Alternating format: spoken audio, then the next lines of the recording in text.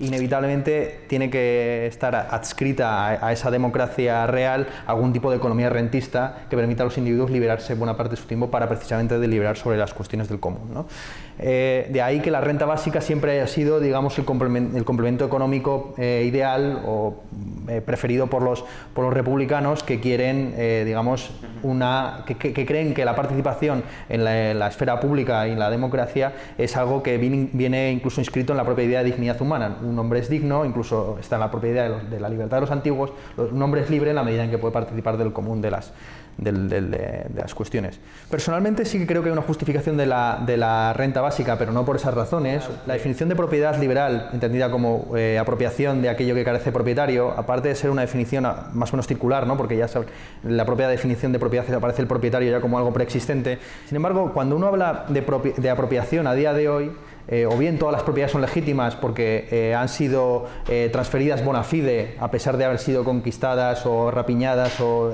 fraudulentamente obtenidas, eh, o bien pertenecen simplemente a las rentas eh, legítimas del trabajo de un, particular. Entonces, para, que de alguna forma tengamos una definición de propiedad que declare algún tipo de propiedad ilegítima, yo creo que sería interesante acudir a una definición eh,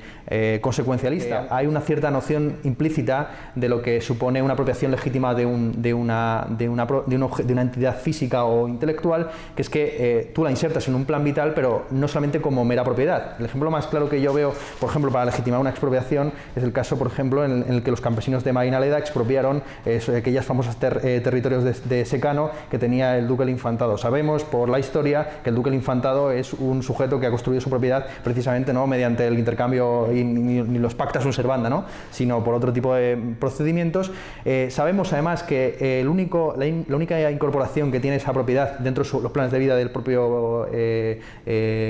duque es simplemente el hecho puro y físico de tenerlos. Y nos a me parece que en ese caso el, forzar al duque a vender al precio de mercado esa, esa, propiedad es perfectamente legítimo y forma parte, digamos, de este... Es, una, es otra versión, digamos, del, del proviso loqueano, en la medida en que el proviso loqueano siempre dice que uno puede apropiarse de, de lo, que, de, lo, que, de lo que quiera siempre que deje el suficiente para los demás, es suficiente para los demás a día, de hoy, teniendo en cuenta que prácticamente todo está apropiado y que las ideas nuevas, incluso hay algunas que ya se han apropiado a través de patentes, esta es una de las paradojas principales de la situación actual, que es que hay compañías que, están, que, que, no, que no construyen eh, nuevos inventos tecnológicos, sino que simplemente se declaran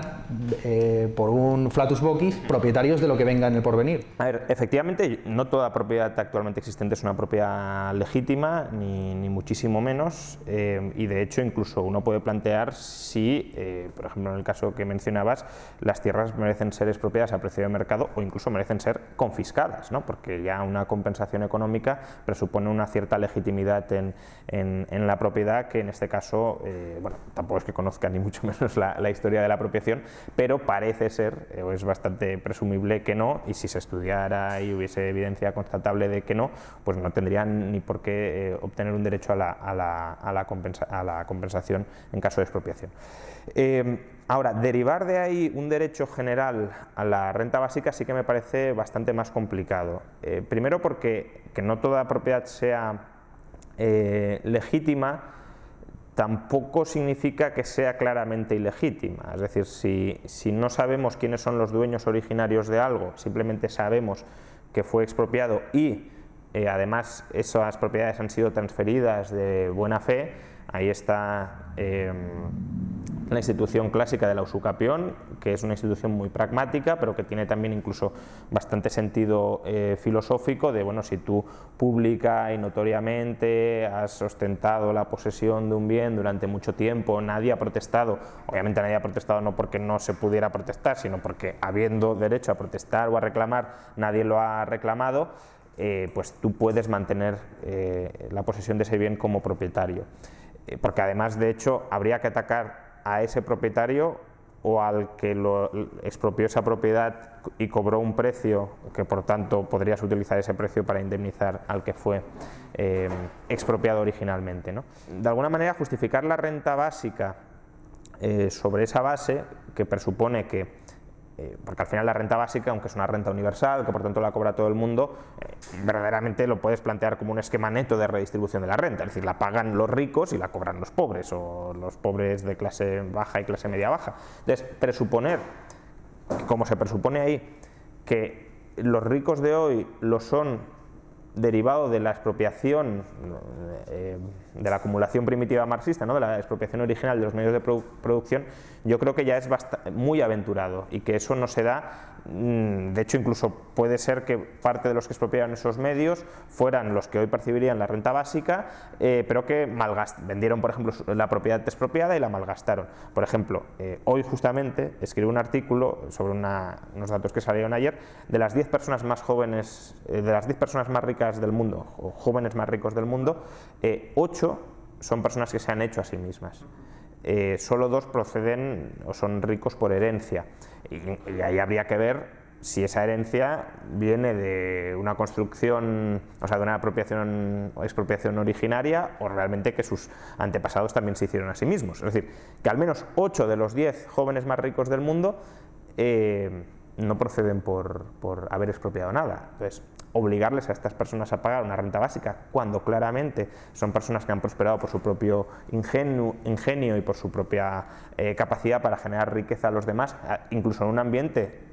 hostil, porque efectivamente eh, parte de las ideas se están apropiando y no deberían apropiarse, etcétera, pues yo lo veo bastante dudoso. ¿no? David Friedman, por ejemplo, pone el caso de, eh,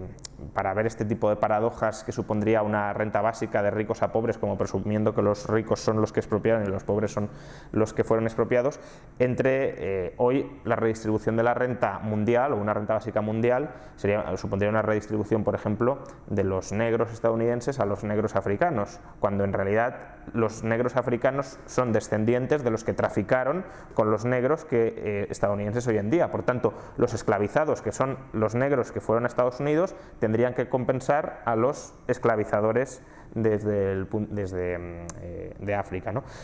Pues eso intuitivamente tiene poco, poco sentido y tratar de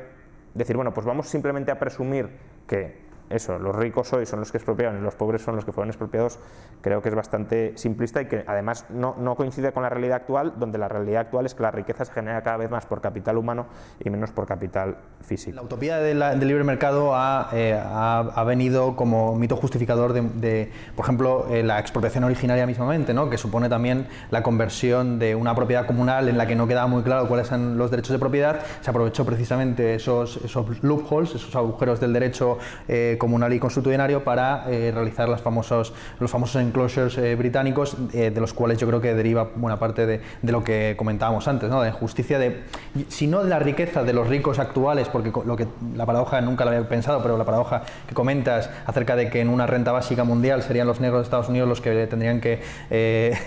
pagar la renta básica de los que les vendieron, vendieron a, sus, a sus antecesores en el pasado, yo creo que sí que es cierto, sí que hay que reconocer o asumir de partida algo que es está en la historiografía marxista, a lo mejor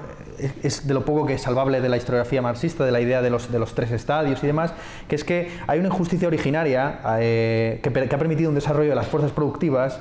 eh, y, y, no es la riqueza de unos respecto de otros, no es la desigualdad misma, sino, por así decir, el estado de, mejora en la que nos encontramos, donde el pobre a día de hoy es en ocasiones más rico que los reyes del pasado, es precisamente esta mejora. Esta mejora se ha obtenido a través de un proceso injusto en el que la historia ha caminado hegelianamente por su lado oscuro. Entonces, como ha ido caminando por su lado oscuro, de alguna forma sería necesario algún tipo de restitución, pero simplemente es un reconocimiento de que hay una, por así decir, eh, un bienestar de partida que damos por sentado, pero que ha sido construido eh, por, procedimientos muy complejos que no somos capaces de historiográficamente detallar y como de manera un poco jacobina, si quieres, pero haciendo tabula rasa con esas injusticias pasadas, de ahí una cierta distribución de la renta. Volvemos a la renta básica porque es la mejor la propiedad más sugerente, es la, propuesta más sugerente a día de hoy y la que precisamente es menos paternalista en, su distribución, en su uso, etcétera, etcétera. ¿no? Pero yo creo que es, esto es un poco, esto está implícito en la, en, la, en la, cuestión y sobre todo hay una paradoja inevitable que es que cómo avanzamos de la situación en la que nos encontramos actualmente hacia esa, esa eh, utopía del libre mercado donde, donde todos serían eh, voluntario y, y precisamente entre entre, iguales. Incluso si nos vamos al proviso de Locke, yo veo complicado justificar esa restitución originaria eh, en función de, la historia negra de la humanidad, ¿no? porque al final, como bien decías, hoy hay mucha más abundancia que aquella en la que nos encontrábamos en la posición de partida. Entonces yo podría entender una defensa del proviso de Locke diciendo, bueno, hay gente que ha salido perjudicada por estos cambios y que ahora mismo se encuentra en una posición de inferioridad. Volviendo al proviso de Locke, que tengan menos y de menor calidad disponible que en su momento, pero es que nos encontramos en la situación opuesta, que ahora hay mucho más y de mucha más calidad que antes de esas expropiaciones. Y, sin ello justificar las expropiaciones, pero veo difícil que sin poder asignar eh, culpables claros y víctimas claras, simplemente porque la historia haya seguido un rumbo que en general ha mejorado eh, la situación de todos, eh, se, pueda, se pueda justificar esa transferencia forzosa o lista, si lo queremos. ¿no?